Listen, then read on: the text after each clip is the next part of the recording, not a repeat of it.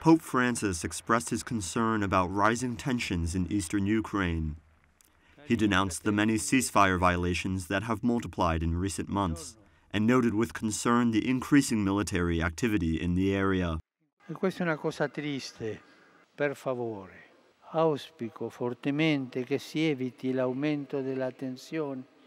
E al contrario si pongano gesti capaci di promuovere la fiducia reciproca e favorire la riconciliazione e la pace, tanto necessarie a tanto desiderate.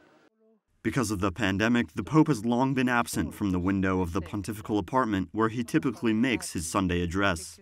Io vi dico una cosa, mi manca la piazza quando devo fare l'Angelus in biblioteca, sono contento, grazie a Dio. E grazie a voi per la vostra presenza, ai ragazzi dell'Immacolata che sono bravi, eh? e a tutti auguro una buona domenica.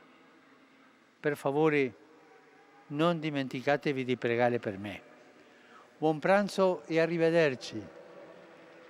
The last time Pope Francis looked over St. Peter's Square from his window was on March 14th. When the health crisis worsened once again in Italy and in Rome, the Pope was forced to preside over all religious ceremonies virtually, including during Holy Week.